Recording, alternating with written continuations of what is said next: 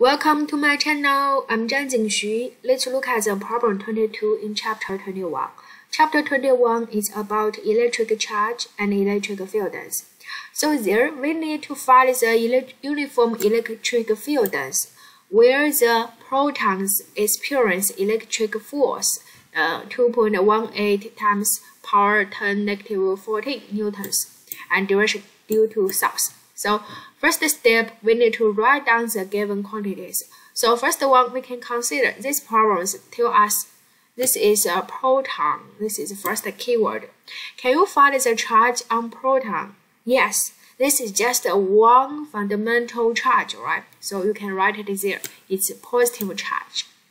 And then the electric field is we need to find it. It's unknown.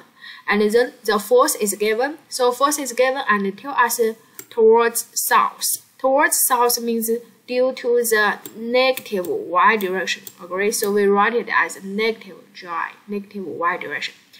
Okay, now you can say you know the charge, you know the electric force. Can you find the electric fields? Yes, we can use the function F equal to QE, right? So the field E equal to force divided by charge.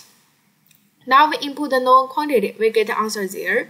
You can see this is still towards the negative j direction. So the same direction as the force, so it's still to the negative y direction towards south and the magnitude is there. Thank you.